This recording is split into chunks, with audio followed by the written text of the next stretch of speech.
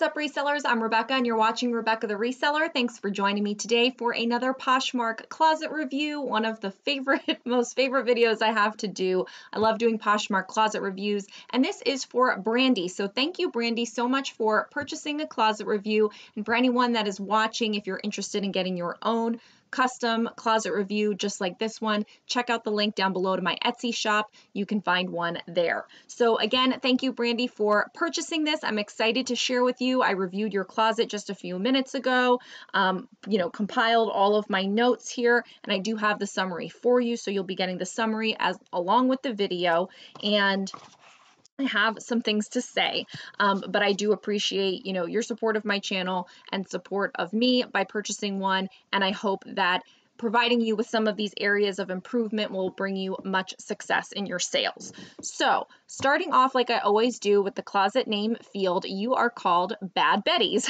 and I see you here. I don't know if this is maybe you and your mom, you and a family member, you and a friend, or maybe you are the more mature woman and you're with your daughter. I don't know. but either way, it's nice to see the two of you there. It's a nice photo. And so I guess you're the bad Betties together. So it's fine that you want to call your closet, you know, your username is Brandy Ann P, then you're calling your closet the name Bad Betties. My big thing here is if you start your name with an exclamation point, you will show up higher in the results of followers. And so if someone clicks on someone's followers and they see you there, you'll go higher if you're in the exclam you know, if you have an exclamation point at the beginning of your name. And that just helps you get more followers and have more reach and just builds up your closet that way. So is it something you have to do? No, it's just something that I've always done. I learned that, you know, little hack early on and I felt like it has effortless effortless oh my God, effortlessly brought me more followers without me having to do anything. And you never know when those followers will become one of your customers. So that's my first thing. The second thing is the banner. It looks great. And I looked at it earlier. It was actually like uh, more condensed, maybe because I had the I put two windows side by side when I do the closet review notes, and so it looked a little bit smaller. So I think it's like a pile of sweaters or a pile of scarves or something like that. So it's something fashion related, and really with banners, as long as it's not something detracting, it's fine. It can be anything. Some people have sunsets, some people have them, some people have pictures of closets and clothes. Like whatever it is, most of the time it's fine as long as it's one thing and it isn't terrible thing. So if you have a banner at home in your closet, um, you know, for those that are watching and it's a hot mess and looking kind of crazy, those are the kinds of things that are no good. But as long as it's a photo of something semi related to something, it's fine.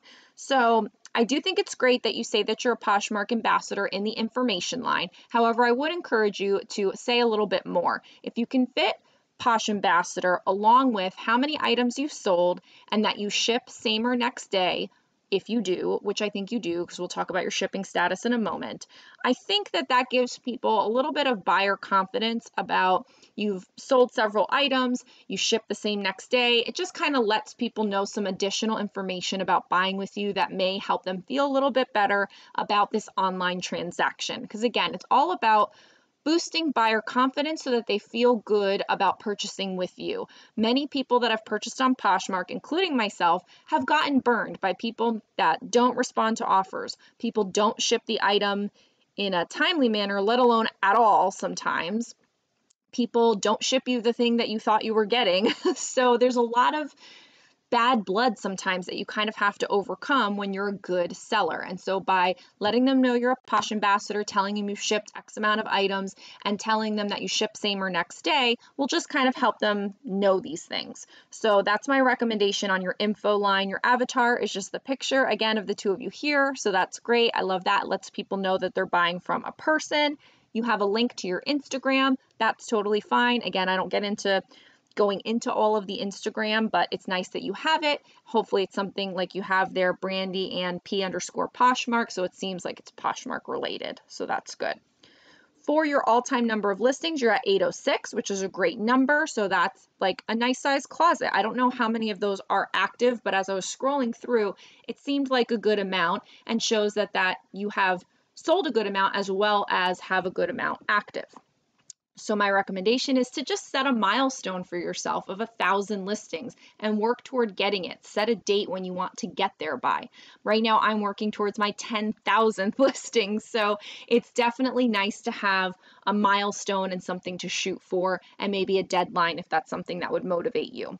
Of course, if you're looking to increase your sales, you want to increase your listings. So, I'm not exactly sure how many listings per day you are doing, but the main goal here is that whatever you're doing, if you're unhappy with the results of doing that, increasing the productivity and the activity that you do should then also result in an increase in your output, which is your sales. So if you're listing five a day now, consider listing seven a day and see how that goes. If you're listing 10 a day now, try listing 12 a day and see how that goes and incrementally go up from there. Recently, I set a challenge for myself, and then I shared it on Instagram, and some people said they were going to do it with me, is that pretty much over the next several months, I'm going to increase from 10 listings a day to 25 listings a day by going up two or three listings every month. That way, it's not so drastic where I go from 10 today and then say, tomorrow I'm just going to start doing 25 listings a day. Like, that's a major change in your routine and in your day.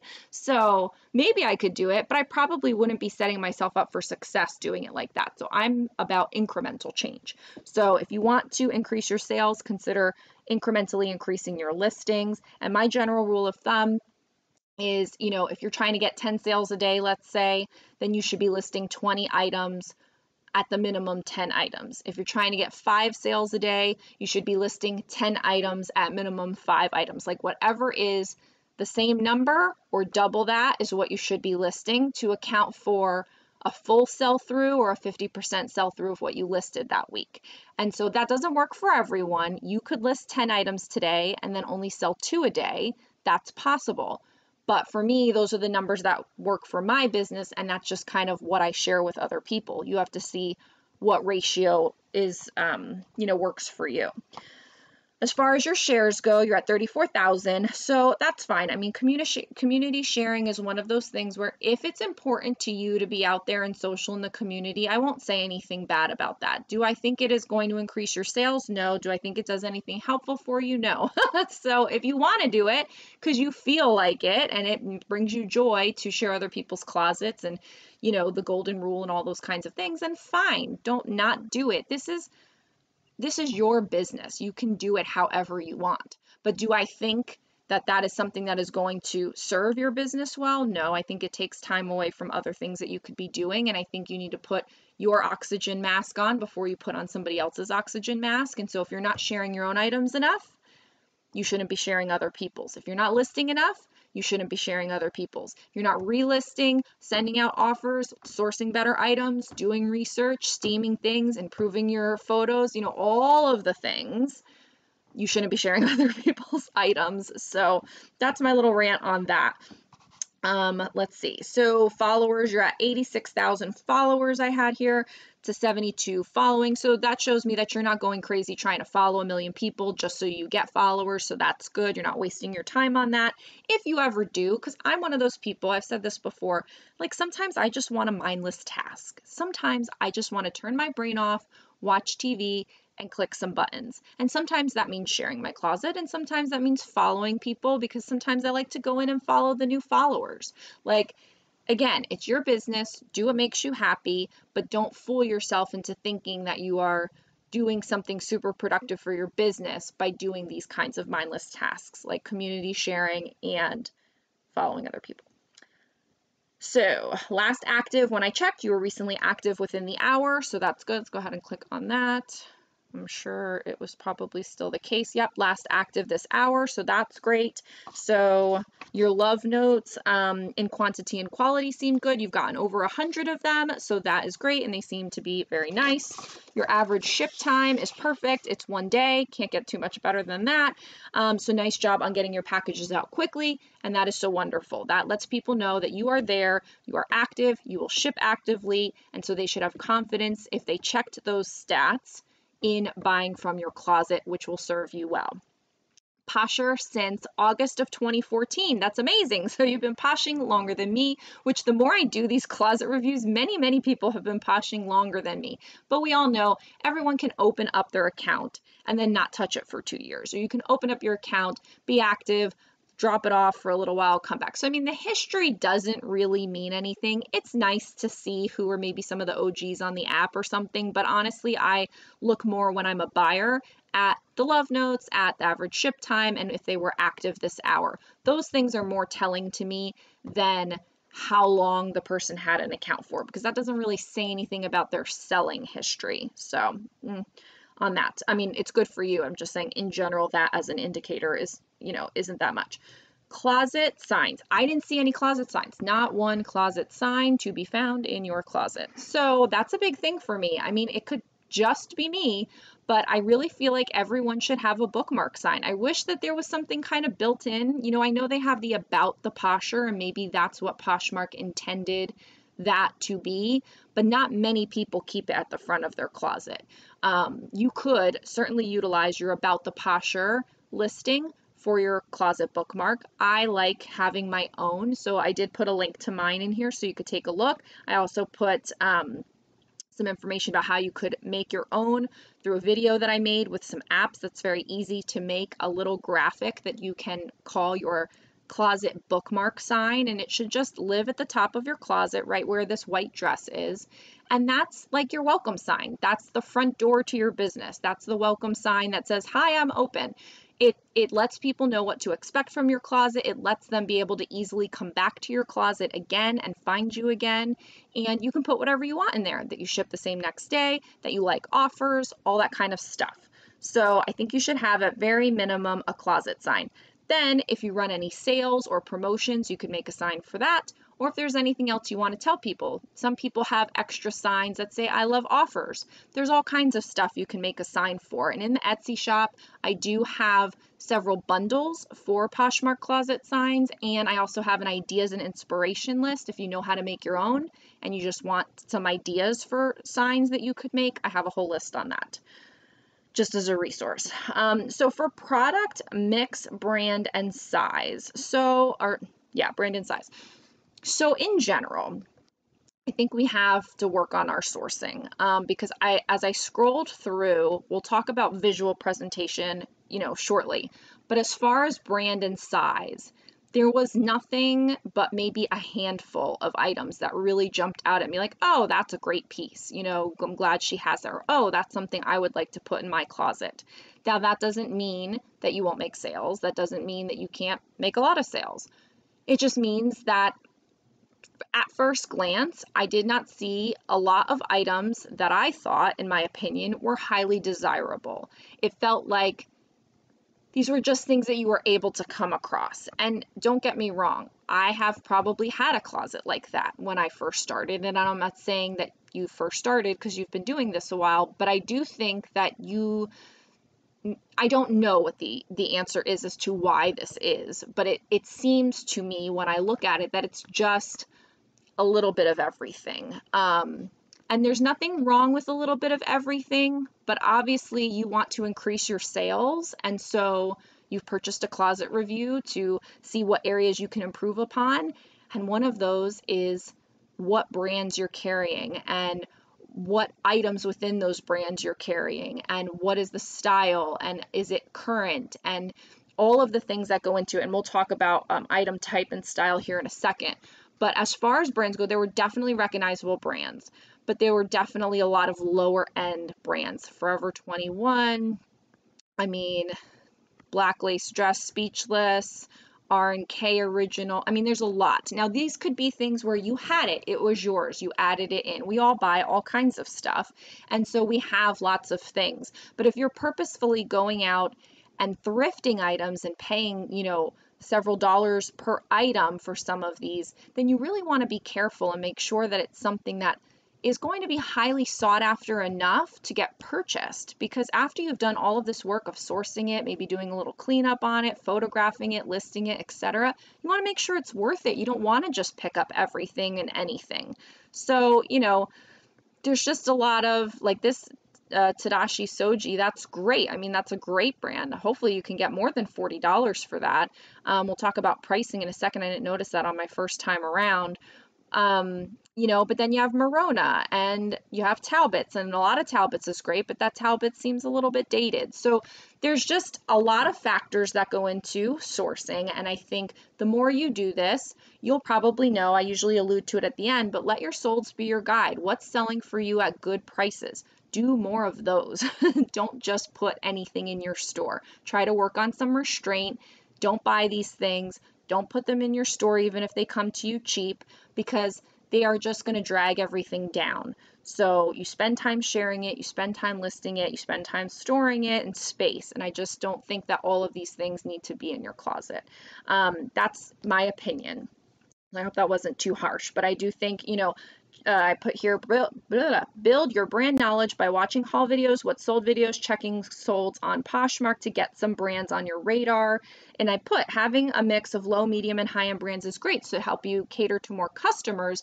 But within even those lower end brands, I think it has to be pretty recent, pretty trendy, pretty stylish for you to make that lower end brand worth selling. Um, challenge yourself to find the higher end brands that can sell for $50. I don't know what sourcing is like in your area, and that's why most of the time I don't talk too much about sourcing because it is different for everyone. What you can get you know, is different than what I can get and what someone else can get. So I do just think though that you do have the ability to not buy. And so don't when you pick something up, make sure it's a good one and don't just put anything in. Sometimes it's about, I think I did an Instagram post on this a long time ago, like it's about what you leave behind sometimes and not about what you actually buy. Because if you buy everything, then you're going to have everything in your store and that's not always helpful. As far as product mix, oh, and size, you had a variety of sizes, so I thought that was great. Um, product mix, item type, and style. So in general, some of the styles looked more dated, not current. So I would consider researching brands that you'd like to sell and then reviewing their websites from time to time to see what's current over time so that you get an idea of trending styles. I watch some videos on YouTube about, you know, trends. I don't always take all of them to, you know, heart because honestly, I feel like anybody could say anything is a trend. Who knows what they're consulting and what have you. And some of the like high fashion stuff is a little bit whatever. But it's about how how the more common brands and mall brands adapt the high fashion trends to the regular clothing that people purchase or like ready to wear or whatever they call it. So um, I think just trying to be more mindful of style. I'm not the best style picker, but I think I've done enough editing now of myself and the things that I've bought that if it seems dated, I don't buy it. If I'm not sure if it is, I try not to buy it. Um, if it's a good brand that's selling, you know, for a decent amount, I do buy it. But I don't buy H&M anymore. I don't buy Gianni Bini anymore. I don't buy Charlotte Russe. I don't buy Liz Claiborne. I don't buy Merona.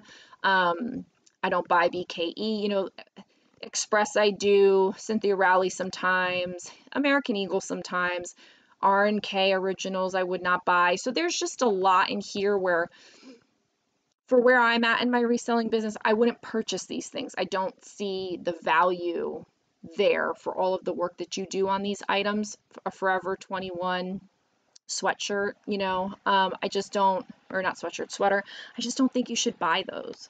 So that's my opinion on that. I hope again, like I say, it's not it's not too harsh because this may be only what you can find. In which case, if you can buy it for a dollar and sell it for 10, who's to say that that's not a good game plan?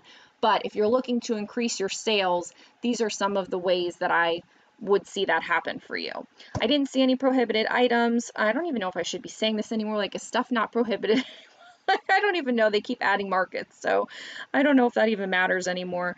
So photos presentation, let's talk about this because this is another key area. So right here, we can see several presentations going on in your cover photo. We've got a mannequin with like the windows behind it. We've got a mannequin in a different area with no windows behind it, though possibly the same room.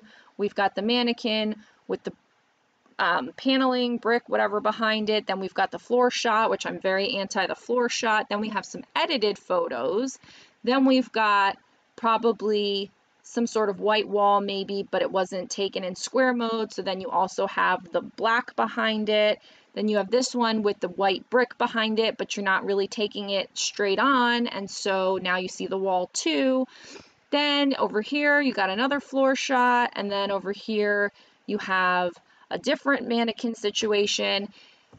It's a lot going on here. Um, and I am a terrible, terrible person because for me, I like this. I like white space. I like clean and clear. I like not a lot of busyness. I like for things to be simple and know exactly what I'm buying and not have so much for my eyeballs to look at because my brain is scrambled enough as it is. so when things get too busy, I shut down. I if I were shopping and I clicked into your closet, I wouldn't continue to scroll. This is too much for me. It's a lot of stimulation and I don't know what to make of it all. I really don't. Um, I'm not saying anything terrible about what any person can do with their business because we all start from somewhere. So this isn't meant to be derogatory. It's just meant to be completely honest as a potential buyer on Poshmark. I mean, I am a buyer on Poshmark, but also as a seller. I really think you need to think about those kinds of things because there's lots of people like me out there that just won't go any further because of something. Maybe it's that it's the way one photo looks. Maybe it's that the closet seems overwhelming. Maybe it's they see it on the floor. They say, Nope, I'm not dealing with somebody that has it on the floor, even though all the rest of your items are not on the floor. Like, it, you never know what somebody's deal breaker is. And for me, it's around white space. Like, if anybody has watched these closet reviews long enough for me, you know, like, I've kind of mentioned it almost in every single one because it's just, I don't know, it's just such a big thing. So, here, you have, you know, you've probably edited the background on this and on this one, the DKNY and the vintage coat, and then the other one is a stock photo. Like if you could get more of them to look like that, where you're doing this photo, you're using photo room to edit and you're cutting it out a little bit, so that's great. Um, you know, so you don't see the photo. And honestly, if it, if it showed on there, that would be the least of the problems. Um, I think that's more the direction for you because I would say your photos were bright. It's not a lighting issue. There was a handful, these are probably your very old ones, where they're on the back of a door. Um, there's a few dark photos, but in general, your photos are bright. So it's not a lighting issue. It's a cover shot presentation issue. Find one spot and work there. That spot, whether it's this, um, you know, brick thing that you have, the white brick, let's click in here this white brick. So we have to figure this out because you have it behind it, but not completely behind it where it's fitting into your photo. So I don't know what's the point of having it there when I can still see everything else around it. You might as well not do it. Like let's say you said I have zero white walls, which is fine. Many of us don't have any white walls. I'm not going to hang up white photo paper on my wall. And that I'm not going to do any of that. Wherever this brown room is, then use the brown wall. I mean, if it's not white, that's fine, but have it be clean, clear, and consistent across all of your things because when you see the closet all together and I'm not saying most people don't even see all of your closet all together. Most people are seeing one item, they buy that one item and they move on. But when you do scroll through your whole closet, I mean, it is an assault to my senses. It really is. It's too much for me to deal with. Um, you got to clean it up. Now, if it's not white, that's okay. If it's that brown room, that's fine. Just find one wall where you can take photos where nothing else is in that photo. That's what we need.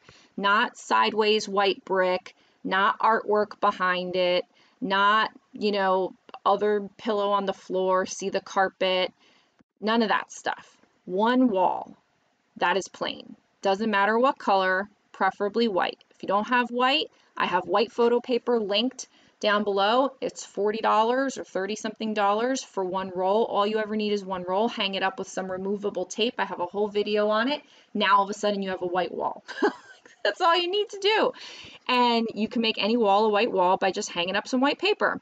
Um, and it does the trick. And then you're still photo editing, and I still photo edit, and, and it just makes everything clean and clear and not busy and not distracting and makes everything look a little bit more presentable and as close to these stock photos as you could possibly get. So it doesn't even matter whether you do a hanging, you know, whether you hang a hanger on the wall or whether you do the mannequin in front, whichever presentation you like, that's fine. Do whatever. Just make sure it is a clean, clear, plain wall that looks consistent across your items. Once you get that figured out and jam on all of that with your new listings going forward, then you can decide if it's worth to go back and change any of your old ones. For a lot of these items for the low dollar amounts $10 $11 I mean I would I would say if it's $20 and higher it might be worth your time to go back and fix the cover photo. If it's $20 and lower or 19 and lower I wouldn't go back and fix it. And you can determine if you want to sell those off remove them from your closet do a big clearance whatever you want to do but I would focus on your new listings going forward having a system for a clean clear background and then decide to go back and fix up those. You know, maybe you start with over $100 items. Once those are done, then over $50 items, then over $20 items till everything is backlog cleaned up. And then you decide from there what you want to do. That was a long time on that. I apologize. But it's not so much about your format as it is the overall presentation of that format. And I thought it looked like you took care of the items. None of them were hanging there haphazard. None of them looked, you know, unkempt. They all looked fine. So it's not a matter of that. It's just a matter of getting a systematic, consistent background going on. Okay. Uh, and I put search for one of your own items like a buyer and see how it looks in comparison to the other listings that come up alongside it in search. I highly encourage you to do this. Search for white lace H&M skirt. What else is going on in other people's listings like yours? Then I would search for one of your higher end items and see how those look because the lower end items you'll find often are sometimes the photos with all the problems. And when it's when you get to the higher end items that you want it to look like the amount you're charging for it. So that's enough on that. Like I said, photo lighting was good, you know, and if the issue is you're trying to be where the window is to give you the light, then consider getting the light kit so that you can freely move about your house to find that perfect spot because then you won't be tied to a window anymore. Okay. Number of photos, details, and tags. You should, there are a couple of items where I thought you should take more photos. Not all of them, but let's go back because the, well, oh, for God's sake. I thought it was at the top before when I looked at it. Where's that white dress? Mm -hmm. Here we go. White aqua smocked lace trim mini dress Mio. Um, you have no actual photo of the item, so that's a problem. Because if I'm going to give you 62 of my dollars for this dress, I want to know that I'm getting this dress. I want to see what the actual white dress looks like. I don't want to see that lady in the dress. That might catch my eye to let me click on the listing. But now that I'm here, I want to see the white dress that you have. what is it going to look like when you send it to me? Um, so, you know, we're just talking still about photos, but I need to see the actual item here when you include stock photos. The other thing was, oh, it was Karen Kane. Let's see if it's down here. Sorry to waste time. It's just, here we go. Um, I just knew because I saw them on certain listings. So I'd rather go back to that certain listing than try to find an example of that on another listing, which I might not. So you've got the stock photo, great, draws me in. Then I see the back, then I see the tag, okay. Then I see this close up of the tag. Then I see another stock photo. Then I see a close up of the fur trim, then another stock photo. It's only until I scroll all the way down to the last photo that I see the overall shot of the whole thing. Now, I do a different order. Maybe this is fine for you. You want to show details up front, but I don't think that's the right way to do it. I think, you know, put a stock photo for the cover, but then the next photo is usually always either the back stock photo and then this shot, the full frontal, then some details of the front and the tags and then the back. But I don't even think you have a picture of the actual back. So for all I know, you only show me the stock photo of the back. The back of this could have a hole in it. The back of this could have a stain on it. I don't know what you're hiding from me because you haven't showed me that you're not hiding something. I think that's the big thing with photos. It's not so much that a buyer needs to see every inch of the thing, they know what it is. It's not like, oh, I don't know what this sweater is, what surprise could be there. It's more about, I want to make sure that you're going to sell me the sweater that I think that I'm getting by looking at the front of this. So if you're not showing me the back, that makes me think something's wrong with the back that you don't want to show me. And I'm sure just going through your closet, I'm pretty sure you're not trying to hide anything from someone, but you don't know how many buyers you may have lost because you didn't show them the back. You didn't show them that you're not hiding anything. And so people that have been burned will go through this, say, she's not showing me everything. What's going on with the back? What isn't she saying? And I would click off of this. So you don't know. You don't know what baggage is in the person's head based on their prior purchases or misconceptions or whatever to know that they don't trust you yet. And there's nothing there's nothing against you personally. It's but you haven't given them every reason not to not trust you. So my saying is always give them every reason to buy, give them no reasons not to buy. Right now you're giving her a reason not to buy by not showing the back. And again, I'm not saying you're hiding anything, but I'm saying to me as a buyer, I'm thinking the worst of you. And so until you prove me wrong and show me otherwise, I'm going to think that something is wrong here. So that was another long winded thing, but I haven't really made that point in a while about showing all the photos. So I do think that that's important. Pricing overall, I thought I thought your pricing was pretty good. I mean, there's a couple things that are a little too high, a couple things that maybe are a little too low. Like that Karen Kane, I think could be lower. The Tadashi Shoji dress, I think could probably be a little bit higher. You know, it's always a wash that way.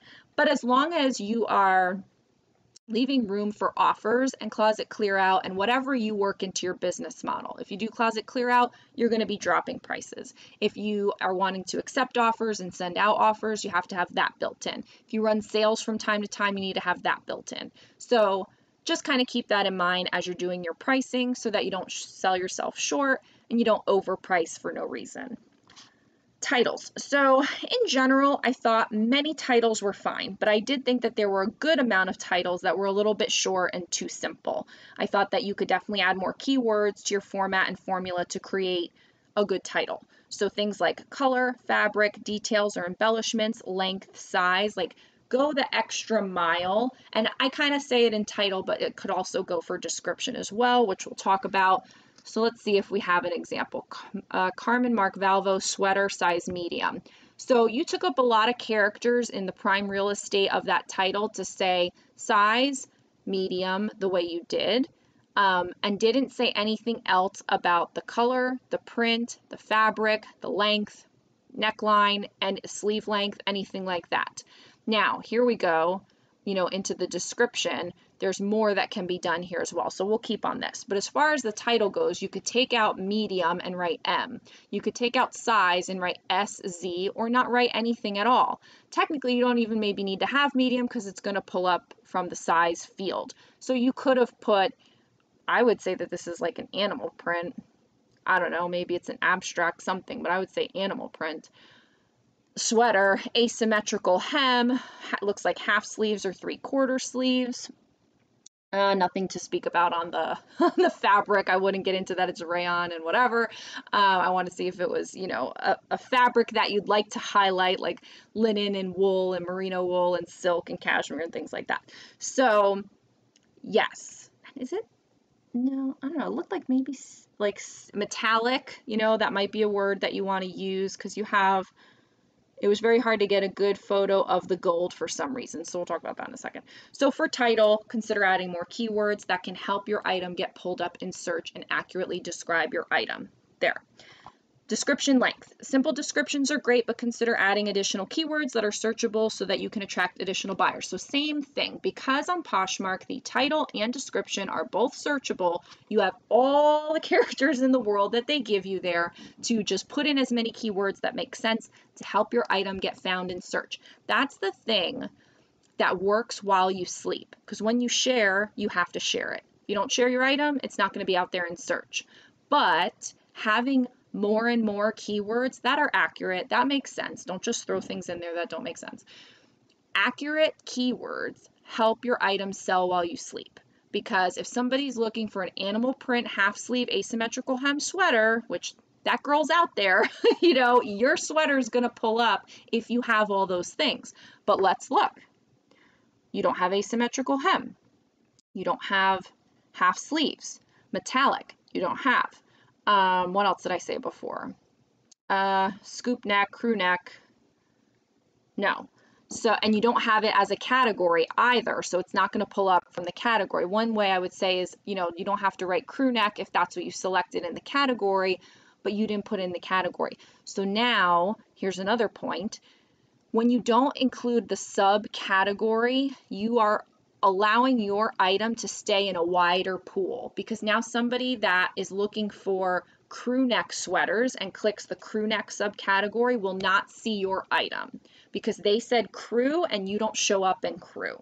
Now, somebody just searches sweaters, you'll show up because you've marked it as a sweater, but nothing further. But think of how many items are marked as sweaters more in a bigger pool. And so now you're in really a big sea, and then you can't go off of the keywords because you don't have them in there. So, yikes, that's a problem. I don't know how this is ever going to get found.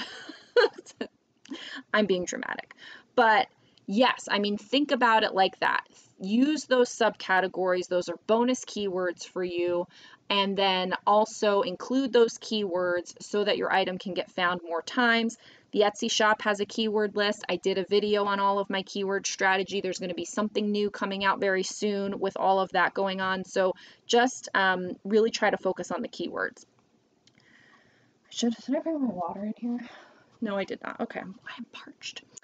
Uh, description format. Consider making a small template or form for yourself that you can use over and over, copy and paste to keep your information for the description so you don't forget to enter any key information and keeps it consistent and clear for your buyer. I'm a big proponent of the listing template.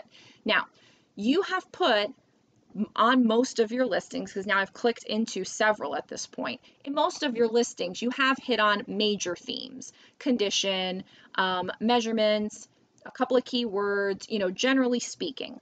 But on every single one, something is left out. You don't hit all the cylinders in every single listing. And I think if you had a listing template, you would, because the template is what reminds you to put everything into there. So even if you had a checklist or something that you just, did I put condition? Did I put all these kinds of keywords? Did I put um, some buyer confidence information? Did I put this? And that way you can go down the line and make sure that you're including everything. So EUC, no, no, no, excellent use condition. You know what that means, but new person, first time buying on Poshmark has no idea what that means. Take that out. Write out excellent condition. Now, what I say is excellent condition, no flaws. Of course, if there's no flaws. So that way it lets them know it's excellent condition, which already gives them one level of an idea, but it's still kind of subjective. Now I say with no flaws. Boom. I've said it. I've told you. There's no flaws here. I'm telling you there's no flaws. So if you find a flaw, then that would be my fault, and that person could bring a case against me, therefore giving them a little bit of buyer confidence to know that it's in their favor. So, EUC no good. Only worn a couple of times. If it's yours and you've only worn it a couple of times, that's fine. I have no problem with that. I don't think it does much. Um, I don't think it does much. I think saying excellent condition, no flaws will tell them that it's excellent condition, no flaws, and you saying EUC only worn a couple times doesn't tell me how you wore it when you wore it, that it was only a few times. Did you get a flaw on it when you wore it only a couple of times? It doesn't tell me anything. Um, so moving on, it is black and sparkly gold. So you're writing in sentences, and sentences are fine, but being so conversational I don't think helps. I don't think it does anything for the listing. I don't think it helps do anything to make it sell. If you wrote a sentence that said, this excellent condition with no flaws, black sparkly gold sweater will be perfect for the holiday season. If you wrote that kind of a sentence, then sure, sentence away. if you're just saying it is black and sparkly gold, you used a lot of characters that didn't really give your listing any oomph to, to result in a sale. So black is fine and sparkly gold, okay, but they're also getting black and gold from the color fields. Um, another you know, you could use sparkly, but also metallic is another good keyword that would kind of coincide with that. It was very hard to get a good photo of the gold for some reason. Again, I don't need you to tell me a whole story about the thing. I just need you to either give a good photo or don't give a good photo. Tell me if it's in good condition. Tell me about it so I can find it in search. I don't need all the other shenanigans. Um, it doesn't do anything for you. It doesn't do anything for you. Great quality, also useless. Heavy, stretchy, awesome. Okay, so heavy, thick, things like that i've used that. You know i usually say something like thick and warm um, things like that to just give them an idea that there's some weight to it something like that. So i think heavy is fine. Stretchy okay people like to know if they're stretching it. You can also always know depending on what the fabric content is here. Um, so other fiber you know it's going to have that you know stretch to it because it's knit but you don't even have knit in there. And then dot dot dot awesome you know okay you if you say so. so, you know, I again, none of this this is all meant with love. this is not meant to be a Poshmark tough love, but I do just want to bring home the point for you and for those watching that you can put a lot of stuff in your listing and none of it will help it sell. And then you can leave out a lot of stuff that would help it sell. And I think this is a good, good example of something like that because there's lots more keywords that people are looking for. Tunic length, it looks like it's long. Oh, and then we didn't even get to measure. Oh my God. Okay. We need to move on. I'm talking too much. So I hope that makes sense on, you know, keywords, things like that. Then we talked about excellent condition. Okay, so on some items, I was glad to see measurements because I wrote that. Glad to see measurements. but then the, some of the more recent listings had the measurements, but then they were kind of written in a funny way. So we'll see if we can find an example of that. But here we have no measurements. And Carmen Marc Valvo is a great, you know, brand. You can find it in department stores. It and you know it's debatable on the resale value of it. I haven't had too much luck with it, but it is a nice, you know, I've seen their pieces; they're very nice.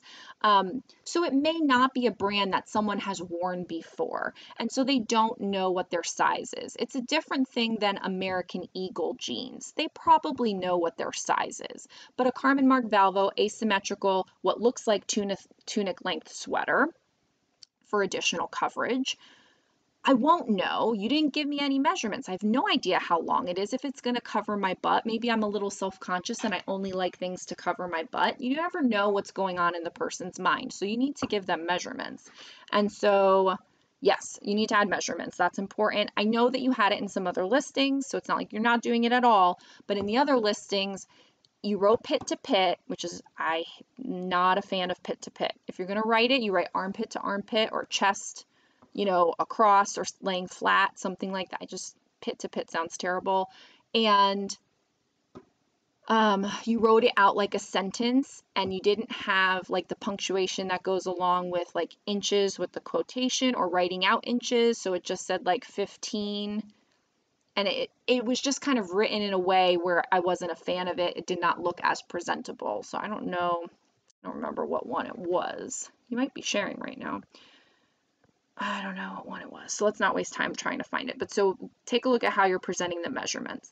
Um, description, buyer info. Okay, so there's no buyer confidence line, and that's fine. A lot of people don't have it. This is one of my big things. In your description, you can add just a very small line at the end that you can copy and paste that says heart for price drops, offers welcome, ship same next day, professional seller.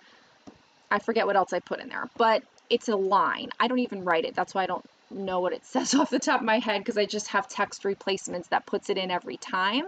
But I do think that it is worth having because if you have it in your closet bookmark sign, if you have it in your information line in your banner, then you have it at the end of every listing, which the person hopefully will read that description, though we know they don't always.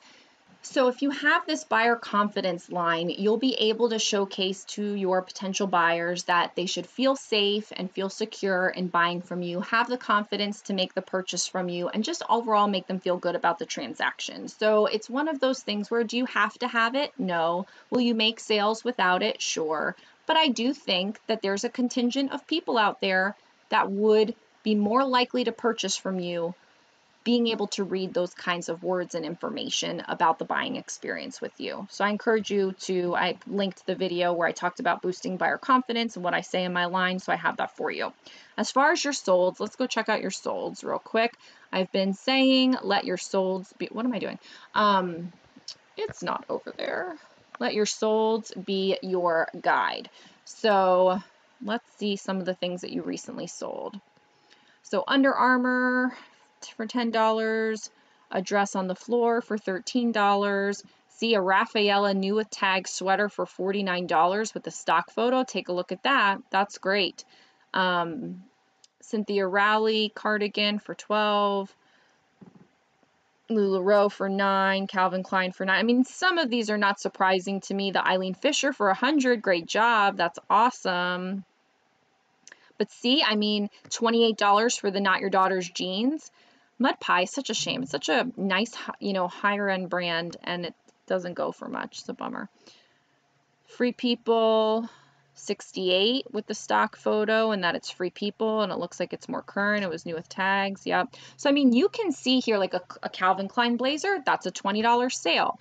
Um, new with tags tunic blouse from, well, from Worthington. So that's an $8 sale. I mean, you can see here just from your own solds where you should be focusing your attention. Now, if you're somebody that says, hey, I'm just getting rid of some stuff and I'm happy to sell this silk, silk cardigan for $14 then that's fine. If you're fine to go after the $14 sale, then go after the $14 sale and keep doing those kinds of things. But if you want to increase your sales in dollar amount or in number, having more desirable things like this, you know, not your daughter's jeans and the free people sweater and um, you know even this Rafaela sweater for $49 the Eileen Fisher. You know those kinds of things are the things that people are looking for they want they'll buy it over something else. And so having those brands and those newer styles and new with tags will get you the higher sale. Having an item of substance like a blazer will get you a higher sale than just a t-shirt. So thinking about all those kinds of things will let your solds guide you in the right direction. Um, last shared, so let's go back to you must be sharing now because every time I look it's changed. So yeah, you've updated that 36 seconds ago. Lane Bryant top.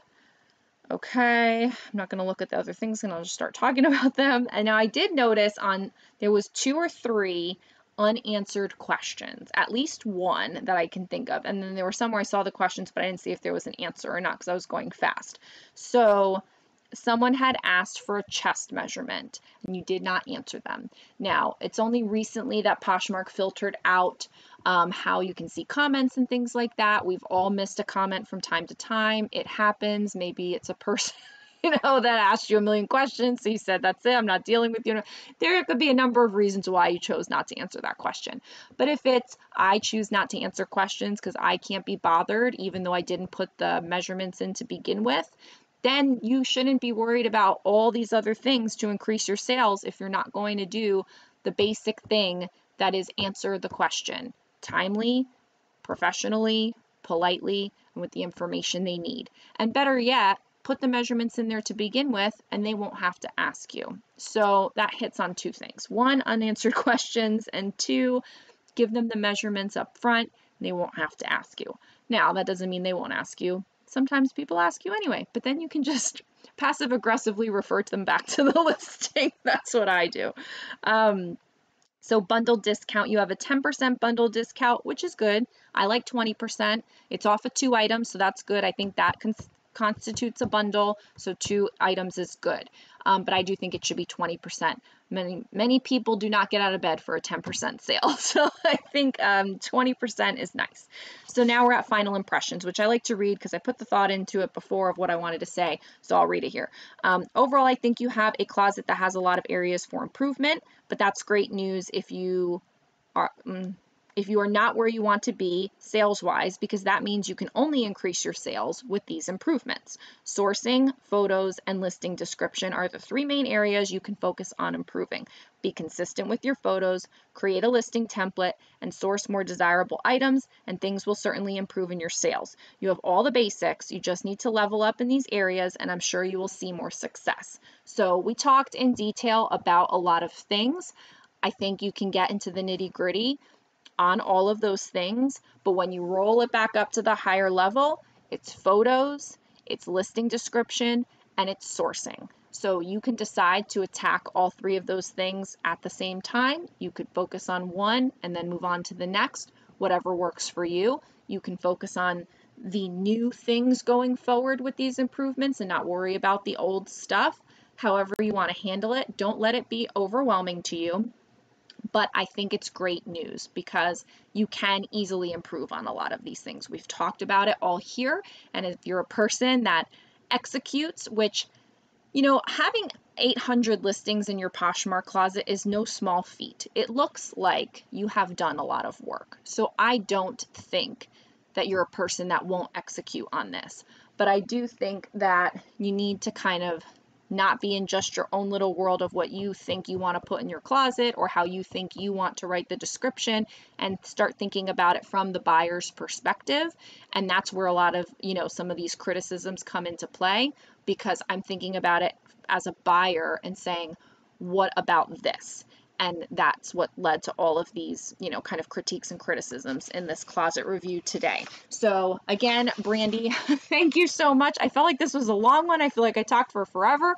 Thank you for purchasing. I really hope you can put these into practice and it brings you much, much success in sales for everyone that is watching. Hope you enjoyed this video and it gave you some tips to work on as well. If you want your own custom closet review, check out the description below for the Etsy shop so you can get one. I will see you in the next video. Like and subscribe and leave me a comment on the way out. Thanks so much and I'll see you in the next one. Bye!